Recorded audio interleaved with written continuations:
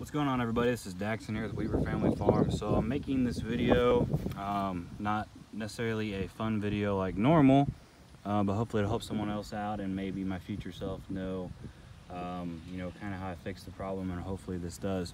this is Massey. She's one of our Boer goats and she has, uh, we have high reason to believe she has a, you know, pretty high worm load. Her tongue's pretty pale and as well as her eyelids.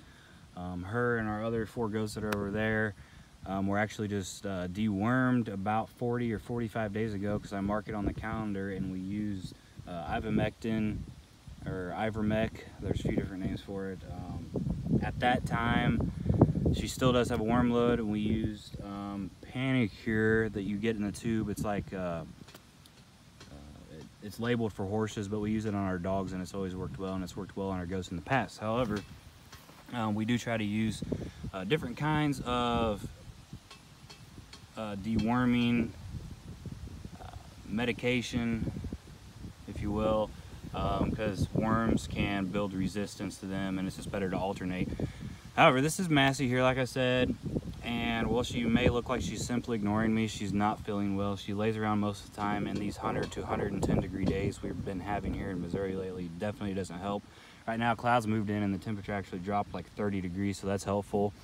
Um, she still is drinking. I have to keep, I actually carry her over here to the water um, to make sure that she is drinking and she'll drink for me. She eats, but she eats very slow.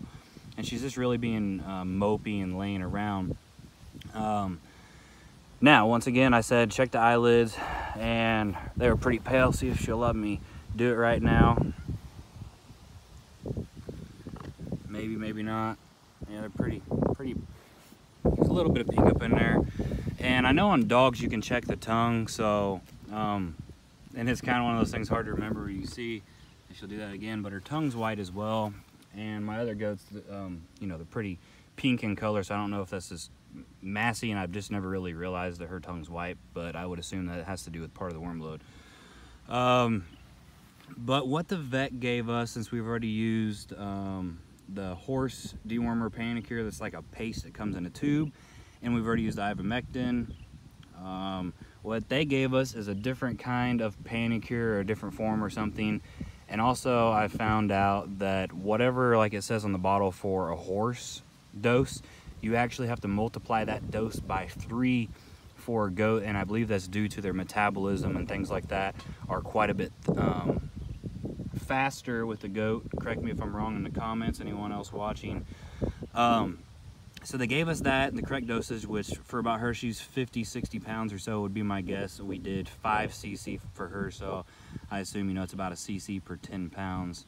Or, uh, anyway, and then tomorrow they gave me a different kind, and I'll have to look and see what it is, but it comes in a packet, and I'll go up to the garage in a minute I was just kind of sitting here with her for a minute, seeing how she's acting. But I'll get a little picture or video of that and show you what it is. But I guess you mix it with a five gallon or a, a one gallon uh, jug of water. And I'm gonna try to do like a half gallon mix or something because we only have five goats. Um, but it says one cc per goat, I believe is what it said, or maybe it's one cc per 10 pounds. But either way, if it makes a gallon and it was like 24.95, that's actually pretty cheap. Um, yeah, she's we had a goat actually back in like last November, December, a really cold period of the winter that we had lost. And once again, we believe this is barber pole uh, worms, which like 95% of the time is what makes them, you know, goats really lethargic. From what I understand, goats are almost always going to have some type of worm in them, but it's the barber pole worm, you know, or any worm, you know, on high load. So it's really specific that we get um, deworming stuff that can handle barber pole worms. Can't see she's a little thin and she started getting, uh, might just be too how she's standing.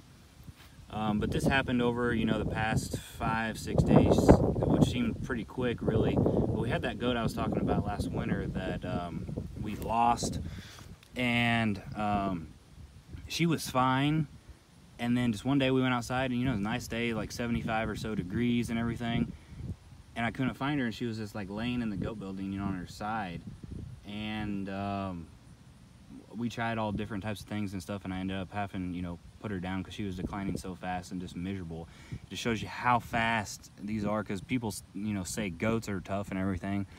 Well, they are tough in a way and can act tough and everything, but they're actually somewhat weak. And um, from what I've read and things, Boer goats are, I believe, one of the uh, worst goats to have when it comes to uh, worm loads and things like that. They're really these Boer goats are really bad about getting uh, worm loads and and there's a whole, also different discussions talking about how some people are deworming every month with different kinds.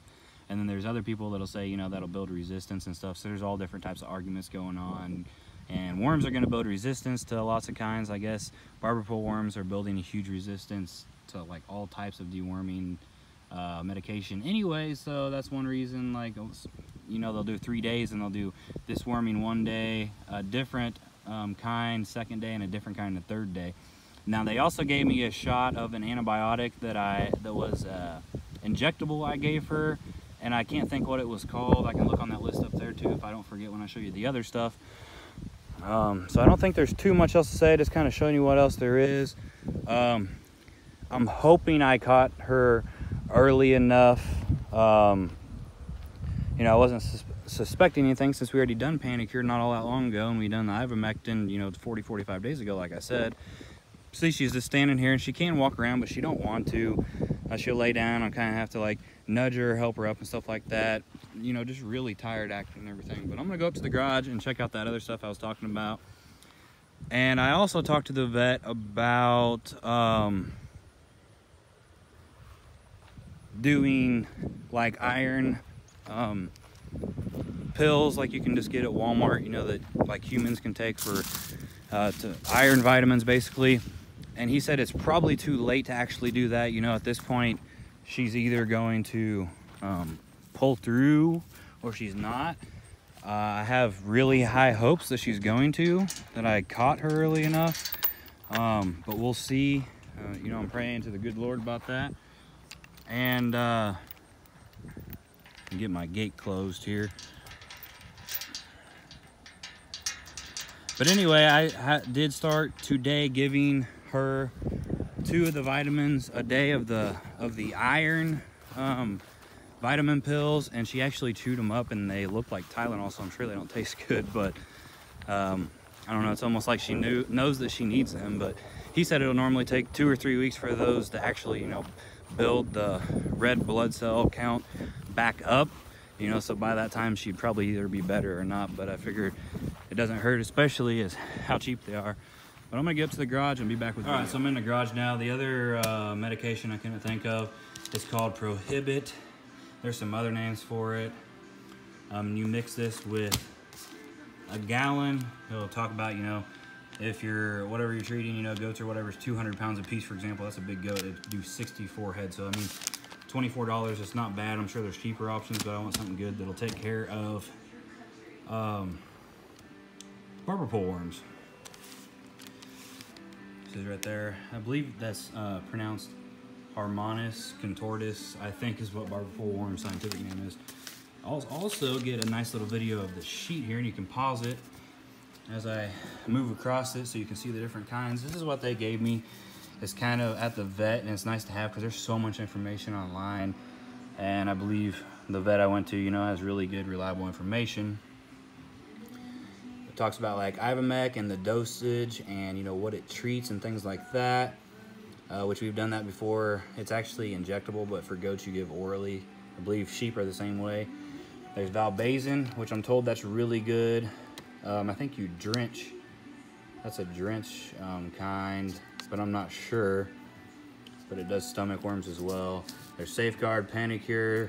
We've already done that. It does say it's for stomach worms as well. And we're down here to the Tramisol, Levasole, and Prohibit, which is what we're going to be doing tomorrow. And there's Cydectin Pour-On and some other things. But yeah, you can pause the video, like I said, if you want to write any of this down. The biggest thing is keeping your goats dewormed. Don't overdo it, but uh, keep them dewormed and, you know, get a good, you know, kind of routine going with it, you know, checking their eyelids and just really paying attention to how they act because um, once they start acting funny, you know, they'll start going downhill fast. But hopefully this video helps you guys. And I hope uh, Miss Massey will pull through. She was our first goat we got, and she's just about two and a half, three years old. So Thanks for watching. See you later. Bye bye.